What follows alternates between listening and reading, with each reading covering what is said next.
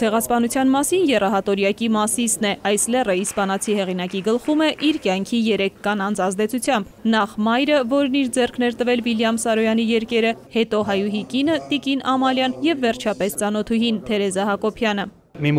Ֆրանսիացիները հայտնի արտահայտություն ունեն՝ շեղշելա ֆամ, կին փնտրեք։ Իմ գրական կենսագրության հիմքում այս 3 կանայք են։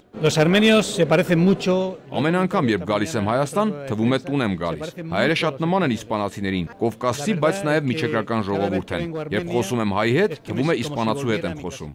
Գոնսալո Գուարչը հայտնի է որպես դարերի խորքից ժամանակակիցների հետ զրուցող մարդկանց մասին նովելների հեղինակ։ Պատրանքները դրամատիկ պատմվածք է արտագաղթի մասին։ Երեք կանանց պատմություն մի պատերազմի ժամանակագրությունը հարավսլավական հակամարտության մասին է։ Ավազի այգին անդրադառնում է Ալժիրի կյանքին։ Հայոց ցեղասպանության դրվագներն ու շարժառիթները վերհանող երագրությունը կոչվում է Հայոց կտակ հայկական տոհմածառ Սպիտակ լեռ։ նա լայն հայացքով է դիտում երևույթները,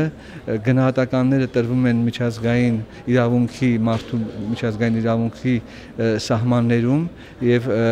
եւ որպես այդպեսին նաեւ կոչ է թուրք հասարակայնությանը այսօր ճանաչելու իր անցյալը Վերբերից սկսած մինչև Գոնսալո Գուարջ մենք ունենք մի հզոր գրական ծանր հրետանի, որը իրոք կարևոր բեկում է մտցնում այսօր աշխարհի հասարակության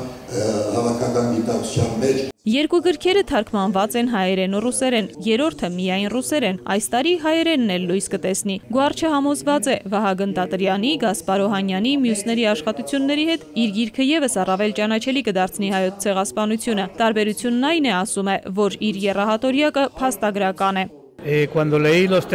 Շատ գրքեր են գրվում, բայց իմ գրքերը նախ փաստաթղթեր են, հիմնված փաստերի վրա։ Իսպանիայում եւս գիրքս մեծ արձագանք ստացավ։ Մարդիկ զանգում, էլեկտրոնային նամակներ են ուղարկում, եւ ես պատասխանում եմ։ Իսպանացի գրողը մի պատմություն է հիշում։ Երահատորյակի առաջին գիրքը գրելուց հետո բժիշկը հետազոտում է ու ախտորոշում, մինչև հայերի մասին պատմությունները գլխից չհանի, չի բուժվի։ Դրանից հետո հեղինակում է երկրորդ ու երրորդ հատորները։ Աննա Բալյան, Արթուր Հունանյան, ժամը լրատվական։